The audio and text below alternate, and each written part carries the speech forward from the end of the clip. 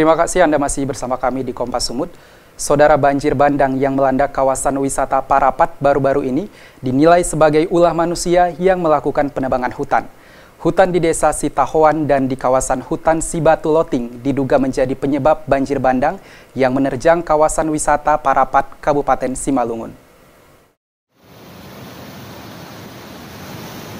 Kerusakan hutan di desa Sitahoan dan hutan Sibatu Loting, Simalungun diduga sebagai penyebab banjir bandang yang melanda kawasan wisata Parapat.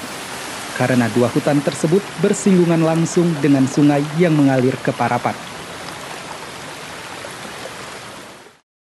Hasil pengamatan organisasi Huria Kristen Batak Protestan yang bekerja sama dengan LSM Kelompok Studi dan Pengembangan Prakarsa Masyarakat, ditemukan adanya perambahan hutan di Kecamatan Girsang, Sipangan Bolon.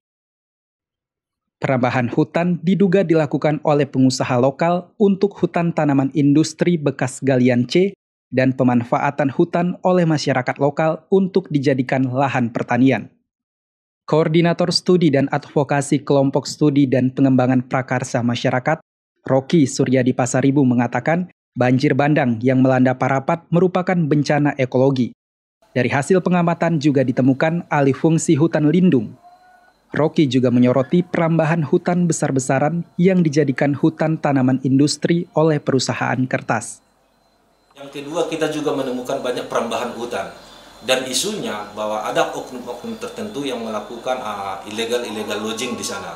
Nah, yang ketiga tuh ketiga kita juga menemukan di sana ada bekas galian C, tetapi berdasarkan informasi dari masyarakat katanya itu sudah tutup sekitar uh, dua tahun yang lalu, berarti 2017 karena kita lakukan 2019. Nah, yang terbaru uh, sebenarnya di dekat uh, Sitahuan tersebut uh, terdapat konsesi PT Toba Pak Lestari jadi pemerintah pernah memberikan izin kepada PT TPR, dulu masih Indorayon namanya tahun 1992.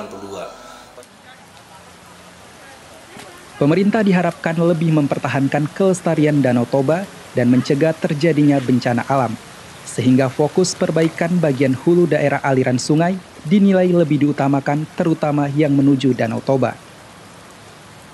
Roganda Malau, Kompas TV, Medan, Sumatera Utara.